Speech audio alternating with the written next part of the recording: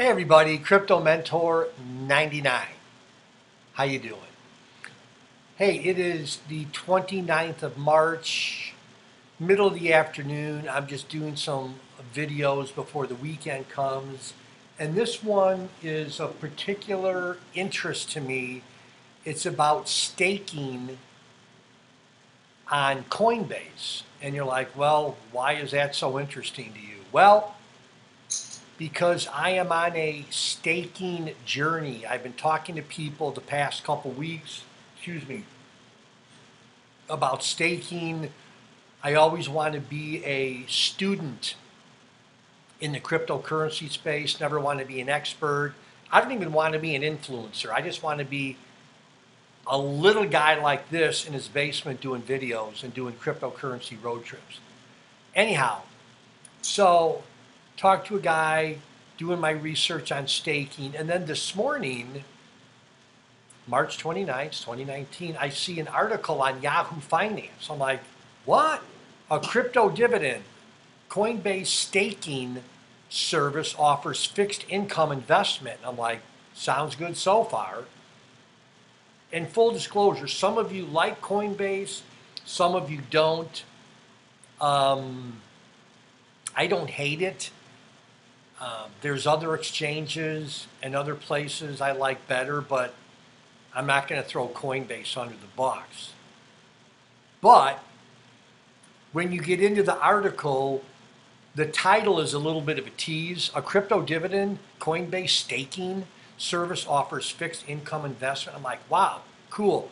Well, the more you get into the article, um, it says investing in cryptocurrency is like putting your money into highly volatile growth stocks. True. Your profits or your losses will be determined by whether the price of your digital asset goes up or down. No kidding. So, Coinbase is offering staking, which promises the owners to collect a fixed income. However, it's only doing it on one cryptocurrency, Tezos, T E Z O S, Tezos. And the article goes on to say, you know, why they picked um, Tezos.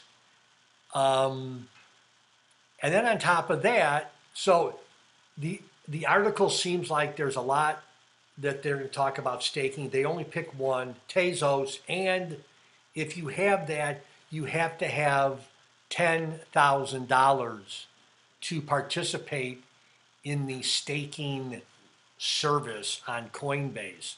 So at first, I was super excited to read the article. I don't own any Tezos.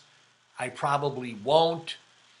But for those of you that do, and you're interested in staking, take a look at this article. Again, don't do it because I'm doing a video on it. Do your own due diligence. But let me know what you think and let me know what you think about staking. Is it worth it? Do you do it? Where do you do it? And why do you do it? Anyhow, Crypto Mentor 99, thanks for subscribing and uh, love y'all. See you later. Have a good weekend. Bye bye.